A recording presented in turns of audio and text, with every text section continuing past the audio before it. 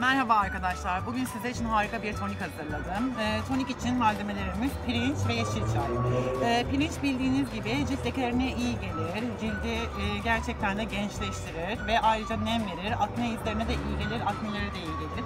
Ondan dolayı pirinci benim çok sevdiğimi zaten hepiniz biliyorsunuz. Maskelerde de çok kullanıyorum. Yeşil çayda antioksidan özelliği vardır. Cildin elastik elastikiyetini korur. Ondan dolayı cilt sarkmalarına engel olur. Gerçekten de cilt için çok faydalıdır. Ee, şimdi ben e, yeşil çayı bu şekilde demledim. Sıcak suyun içinde. Yaklaşık 15 dakikadır bekletiyorum ki biraz soğusun diye. Ee, daha sonra hafif soğuduktan sonra 2 yemek kaşığı pirincin üzerine yeşil çayı ekliyorum. Ve bu şekilde yaklaşık yarım saat kadar pirinci yeşil çayın içinde bekletiyorum.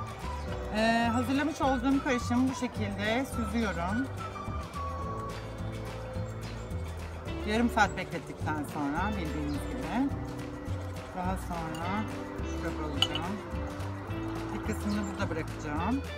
Hem maske olarak uygulamak için. Bunun için ihtiyacınız olan bir de e, şişeniz olması lazım. Boşalan bir şişeye koyabilirsiniz. Bu karışımı dediğim gibi 7 gün boyunca dolapta saklayabilirsiniz çok rahatlıkla. Normal günlük tonik olarak bunu kullanabilirsiniz. Bu şekilde ağzını kapattım. Evet toniğim bu şekilde hazır. Ee, daha sonra ben tabii ki maske yapmaya alışık olduğum için yine maske yapacağım. Ve bir havlu peçeteyi alıyorsunuz şu şekilde.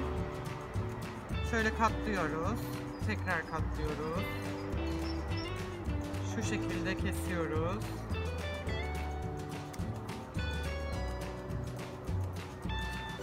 Daha sonra şu kısmını hafif katlayıp şu şekilde kesip